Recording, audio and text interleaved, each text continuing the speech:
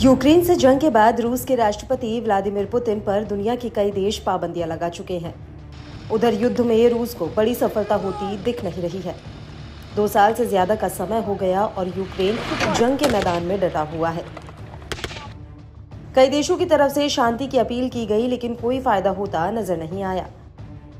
इस बीच अब अमेरिका ने एक ऐसा बयान दे दिया जो आग में घी डालने का काम करेगा। दरअसल, अमेरिका ने ईरान पर रूस को बैलिस्टिक मिसाइल देने के आरोप लगाए हैं।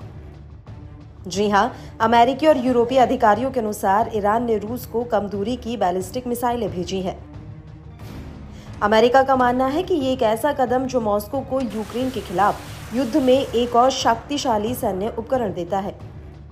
ईरान और रूस दो ऐसे देश हैं जिनके खिलाफ अमेरिका ने सबसे ज़्यादा प्रतिबंध लगाए हैं और उम्मीद है कि निकट भविष्य में दोनों देशों पर और भी ज़्यादा प्रतिबंध लगाए जाएँगे।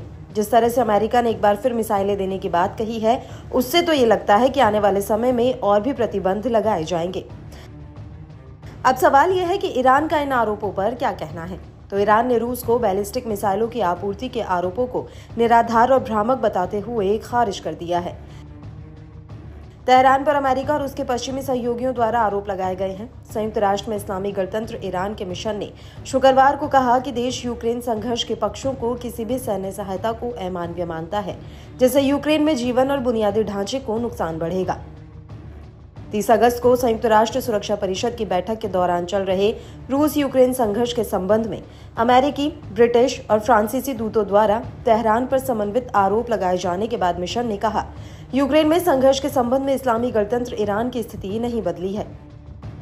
संयुक्त राष्ट्र में ईरान के स्थायी प्रतिनिधित्व अमीर सईद इरावानी ने पहले भी यूक्रेन में रूस के सैन्य अभियान में तेहरान की भूमिका के संबंध में संयुक्त राज्य अमेरिका, इंग्लैंड और फ्रांस के निराधार और भ्रामक आरोपों को खारिज कर दिया था। इरावानी ने कहा कि संयुक्त राज्य अमेरिका और उसके सहयोगी इस निर्विवाद तथ्य से इनकार नहीं कर सकते हैं कि उन्नत पश्चिमी हथियार भेजने से, विशेष रूप से, संयुक्त राज्य अमेरिका से यूक्रेन में युद्ध लंबा हो गया है और नागरिकों और नागरिक बुनियादी ढांचे को नुकसान पहुँचा है।